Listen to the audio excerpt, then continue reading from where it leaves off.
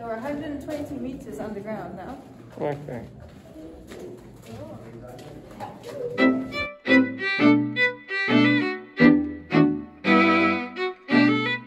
So when Googling what to do in Bogota in Colombia, the Cathedral de Sal comes up a lot.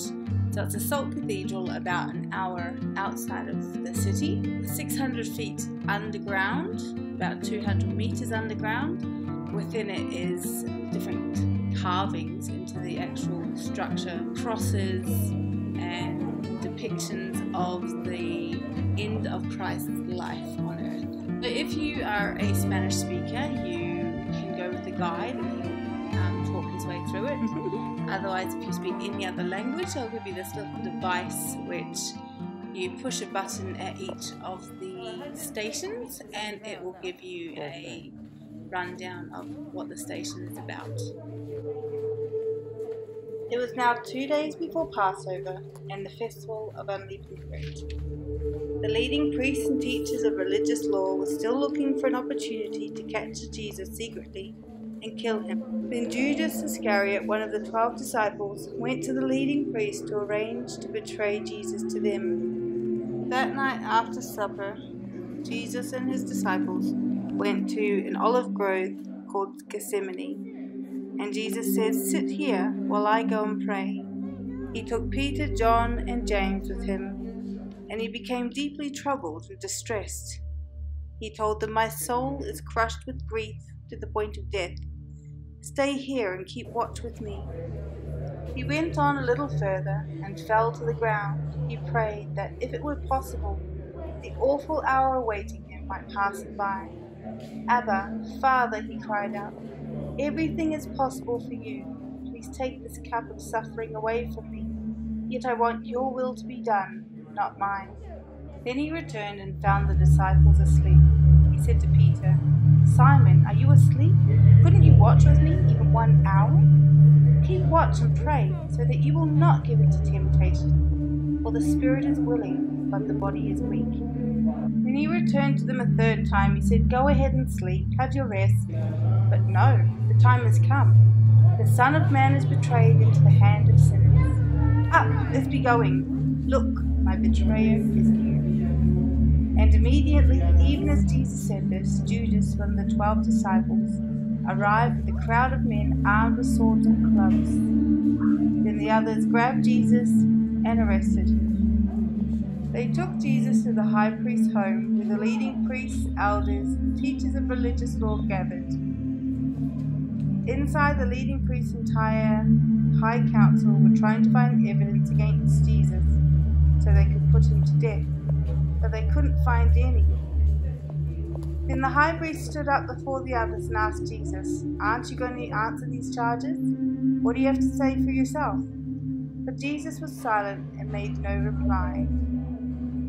Then the high priest asked him, Are you the Messiah, the Son of the Blessed One? And Jesus said, I am. And you will see the Son of Man seated in the place of power at God's right hand and coming on the clouds of heaven. Then the high priest tore his clothing to show his horror and said, Why do we need another witness?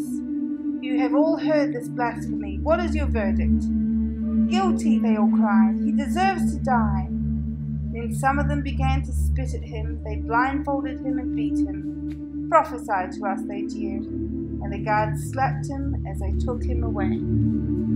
Very early in the morning, the leading priests, the elders, the teachers of the religious law, the entire high council met to discuss the next step. They bound Jesus, led him away, and took him to Pilate, the Roman governor. Pilate asked Jesus, Are you the king of the Jews?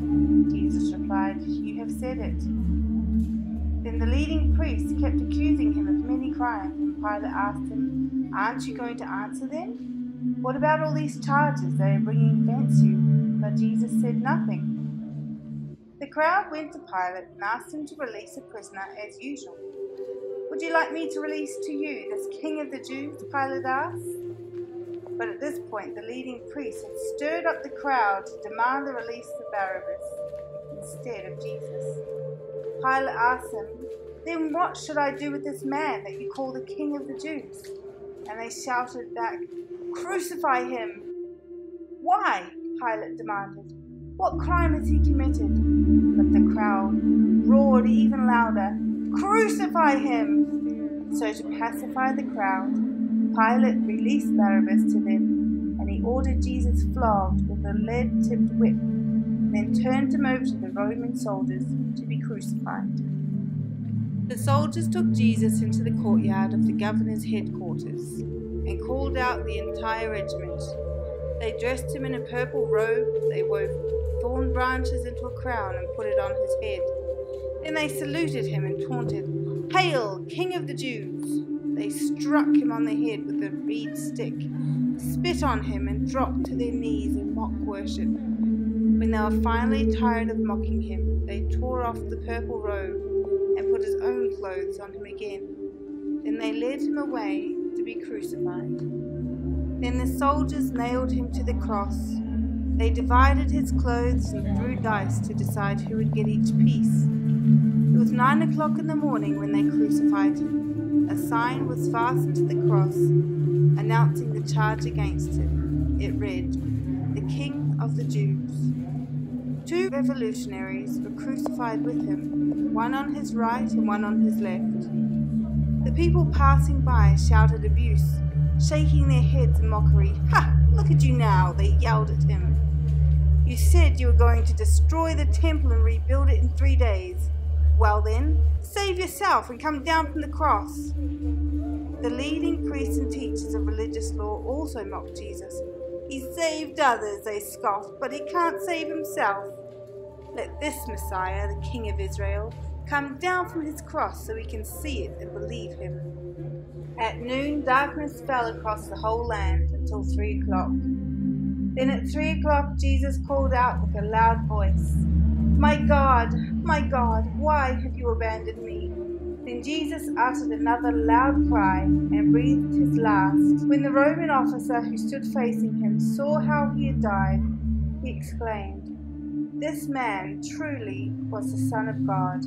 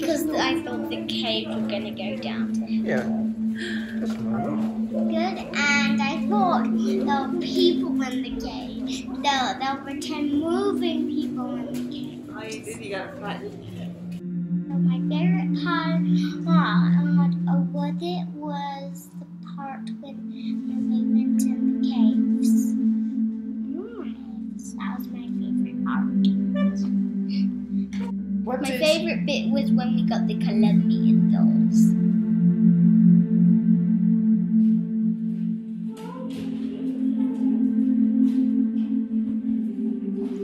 This all happened on Friday, the day of preparation, the day before the Sabbath. As the evening approached, Joseph of Arimathea took a risk and went to Pilate and asked for Jesus' body. Pilate couldn't believe Jesus was already dead, so he called for the Roman officer and asked if he died yet. The officer confirmed that Jesus was dead, so Pilate told Joseph he could have the body. Joseph bought a long sheet of linen cloth then he took Jesus' body down from the cross, wrapped it in the cloth, and laid it in the tomb that had been carved out of rock. Then he rolled a stone in front of the entrance. Saturday evening, when the Sabbath ended, Mary Magdalene, Mary the mother of James, and Salome went out and purchased burial spices so they could anoint Jesus' body. Very early on Sunday morning, just as sunrise, they went to the tomb. On the way, they were asking each other, Who will roll the stone away for us from the entrance to the tomb? But as they arrived, they looked up and saw the stone, which was very large, had already been rolled aside. When they entered the tomb, they saw a young man clothed in white robes sitting on the right side. The women were shocked. but the angel said, Don't be alarmed. You're looking for Jesus of Nazareth, who was crucified. He isn't here. He is risen from the dead. Look, this is where they laid his body. Now go, tell the disciples, including Peter, that Jesus is going ahead of you to Galilee. You will see him there, just as he told you before he died. Two men from Emmaus told their story of how Jesus had appeared to them as they were walking along the road, and how they had recognized him as they were breaking the bread. And just as they were traveling downward, Jesus himself was suddenly standing there among them. Peace be with you, he said. But the whole group was startled and frightened, thinking they were seeing a ghost. Why are you frightened? he asked. Why are your hearts filled with doubt? Look at my hands, look at my feet can see it's really me. Touch me, make sure I'm not a ghost. Because ghosts don't have bodies, as you see that I do. And as he spoke, he showed them his hands and his feet. Then he said, When I was with you before, I told you everything written about me, the law of Moses, and the prophets and the Psalms must be fulfilled. He opened their minds to understand the scriptures, and he said, Yes, it was written long ago that the Messiah would suffer and die and rise from the dead on the third day. It was also written that this message would be proclaimed in the authority of his name to all nations, beginning in Jerusalem. There is forgiveness of sins for all who repent. You are witnesses of these things. And now I will send the Holy Spirit just as my Father promised. Then Jesus led them to Bethany and lifted his hands to heaven. He blessed them. While he was blessing them, he left them and was taken up to heaven.